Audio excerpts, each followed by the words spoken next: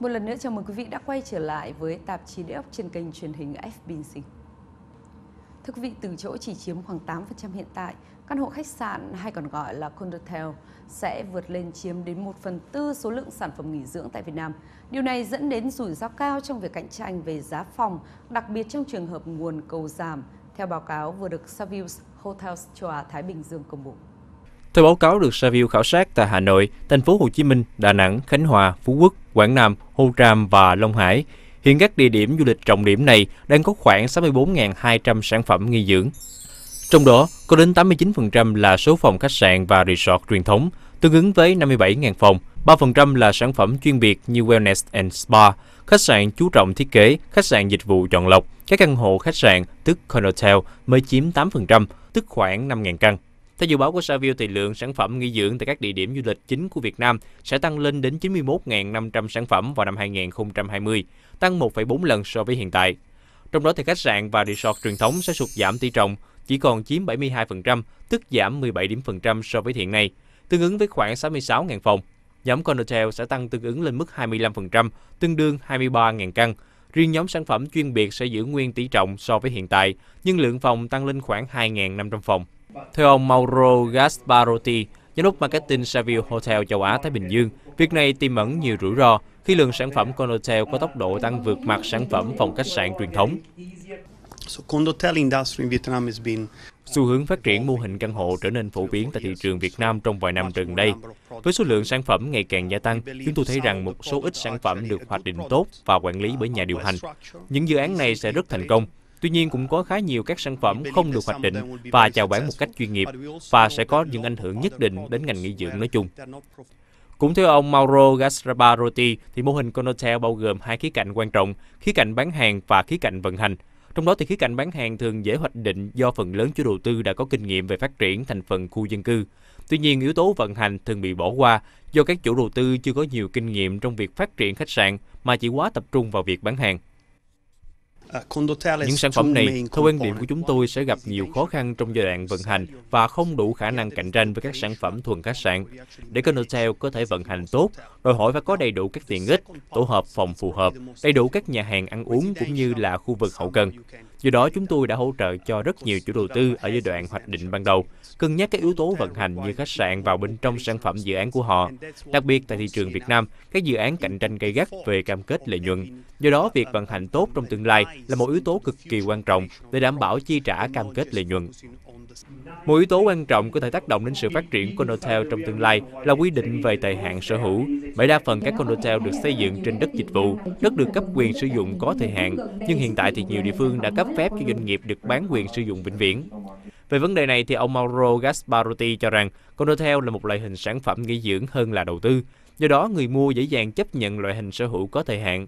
Ông viện dẫn Thái Lan hay Bali cũng chưa có những định hướng hay chính sách khắc khe. Thay vào đó là các sản phẩm này cũng có thể được sở hữu ngắn hạn hay dài hạn tùy từng địa điểm. Khởi nghiệp Protect công nghệ bất động sản tại châu Á Thái Bình Dương đang vượt qua cả châu Âu và Hoa Kỳ để thu hút hơn 60% lượng vốn đầu tư vào Protect trên toàn thế giới, theo nghiên cứu mới nhất của Jones Lang LaSalle.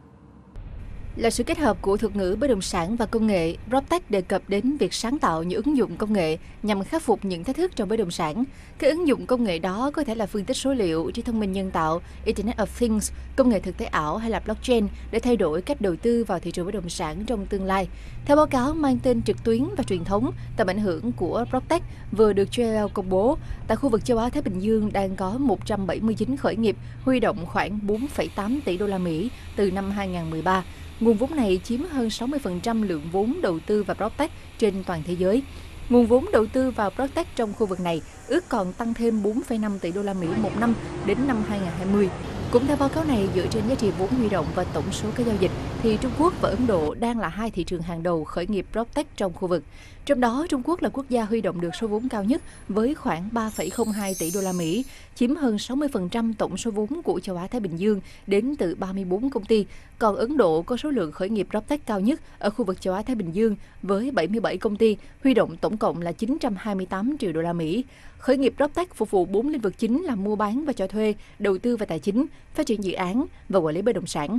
Hơn một nửa, tức là khoảng 52% các công ty khởi nghiệp đã huy động vốn vào mua bán và cho thuê từ năm 2013, nơi dành cho các nhà môi giới, chủ nhà và khách mua.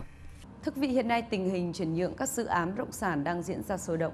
Các dự án bất động sản được chuyển nhượng vì nhiều lý do, nhưng chủ yếu là do chủ đầu tư đang đuối về tài chính và muốn bán để trả nợ vay, hoặc chủ đầu tư muốn sang tay để hưởng tranh lệch sau khi xin được các thủ tục ban đầu.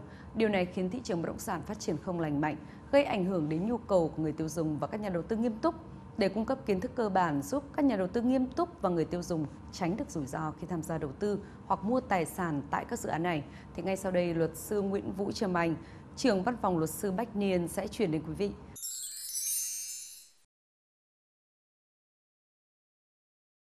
Xin mời quý vị cùng theo dõi.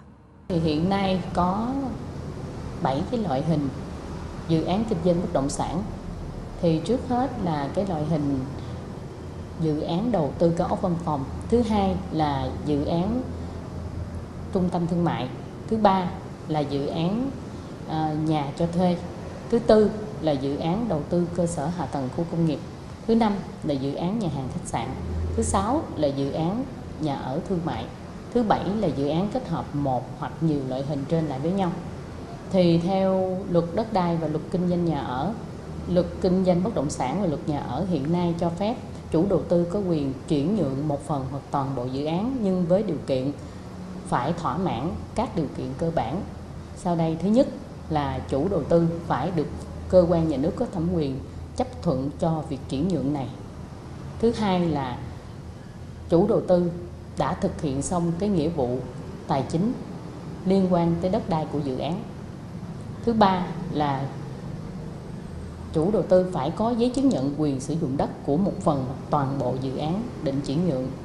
Thứ tư là dự án này đã được cơ quan nhà nước có thẩm quyền phê duyệt và có cái quy hoạch chi tiết 1 trên 500 và hoặc có cái quy hoạch mặt bằng tổng thể. Thứ năm là dự án này đã được đền bù giải tỏa xong. Đối với trường hợp chuyển nhượng toàn bộ dự án đầu tư xây dựng cơ sở hạ tầng thì phải thực hiện xong các công trình kỹ thuật cơ bản như tiến độ đã ghi trong dự án được phê duyệt. Và thứ sáu là dự án không có tranh chấp về quyền sử dụng đất. Thứ bảy là dự án không bị kê biên để bảo đảm thực hiện thi hành án hoặc thực hiện một cái quyết định hành chính của cơ quan nhà nước có thẩm quyền và cũng như dự án không có quyết định thu hồi đất hoặc là cũng không có cái thu hồi dự án. Thứ 8 là dự án phải còn thời hạn hoạt động, cũng như là dự án này, cái quyền sử dụng đất phải còn thời hạn sử dụng. Thì trong 8 cái điều kiện này, nếu mà đạt được, thì dự án này xem như về cơ bản được phép chuyển nhượng. Và phần tư vấn vừa rồi của công ty Bách Niên cũng đã khép lại tạp chí đốc tuần này trên kênh FBNC. Cảm ơn sự quan tâm theo dõi của quý vị và các bạn. Thu Hiền xin kính chào tạm biệt và hẹn gặp lại. Thank